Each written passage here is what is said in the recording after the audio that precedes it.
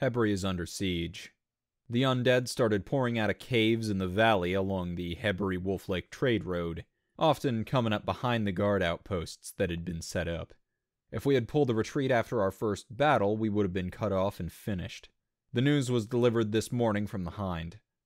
Our commander wants to push the fight now, deciding that the undead are distracted with siege and wants to head straight for the capital and cut off the head of the serpent. We're on the march. We should arrive within sight in two days. I'm sending the Hind to scout ahead for us, report back, and then return to Hebri. If production is stable, we should get our grenade shipment by tomorrow, from the sounds of it. I've been spending more time with Avery. She needs comfort.